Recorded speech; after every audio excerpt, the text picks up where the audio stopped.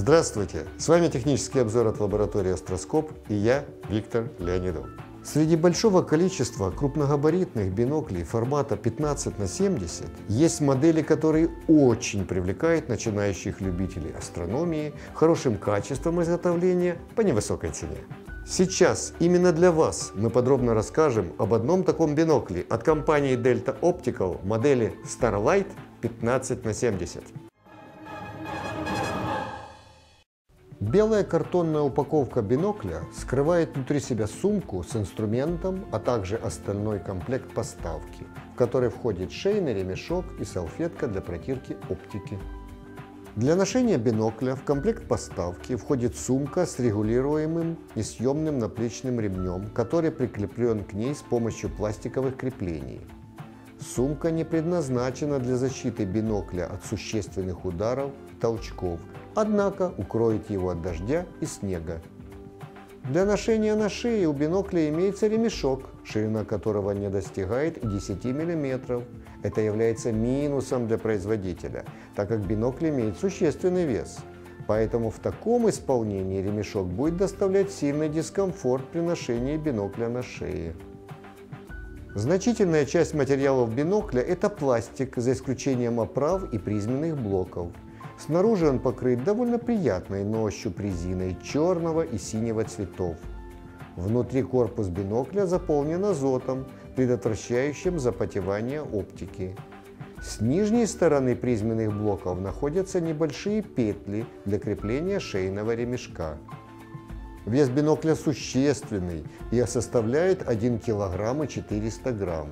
Естественно, центр тяжести смещен к объективной части, и при наблюдениях следует держать бинокль за тубусы. Длина бинокля составляет 280 мм.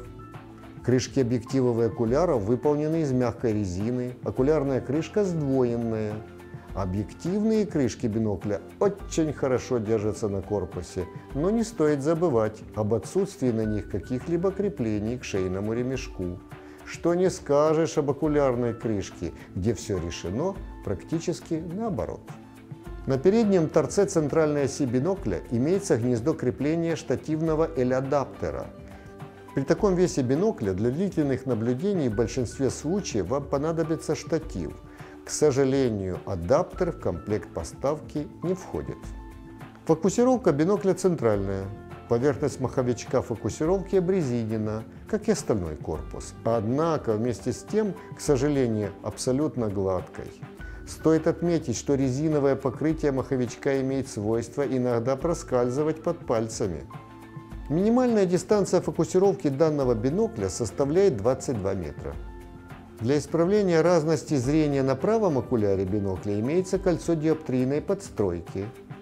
Диапазон ее регулировки составляет плюс-минус 5 диоптрий.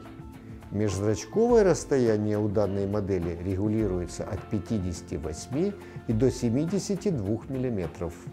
Объективы окуляра бинокля покрыты просветляющим покрытием Multicoated.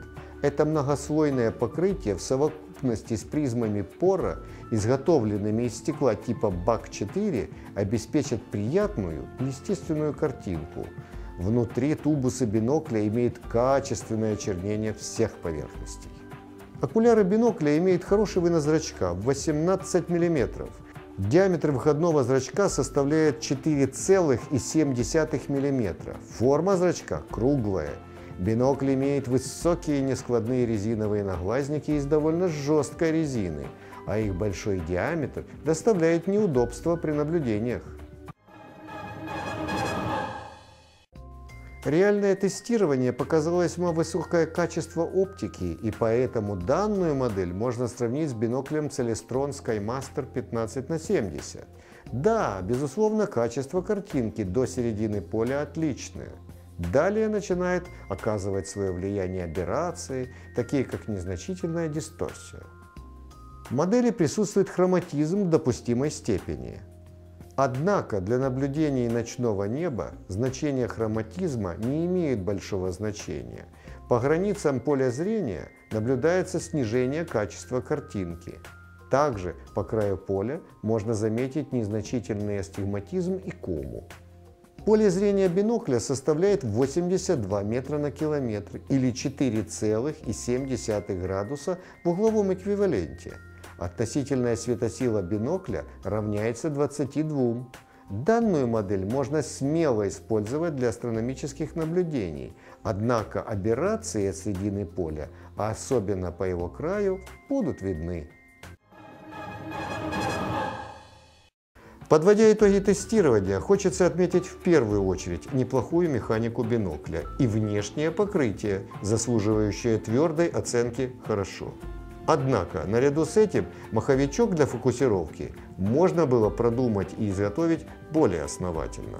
Объединение большого диаметра объективов, призм типа BAC-4 неплохим просветлением в сочетании с качественной оптикой позволило надлежащим образом скорректировать астигматизм, хроматическую аберрацию и кому. Все это позволяет наблюдать как объекты, требующие большого приближения, так и звездное небо в довольно высоком качестве. Неоспоримым преимуществом Delta Optical Starlight 15 на 70 среди аналогов является очень хорошее соотношение цены и качества бинокля. Это поможет начинающим астрономам-любителям не вкладывать сразу большие средства в свое хобби. С вами был технический обзор от лаборатории Астроскоп. До скорой встречи в нашем магазине!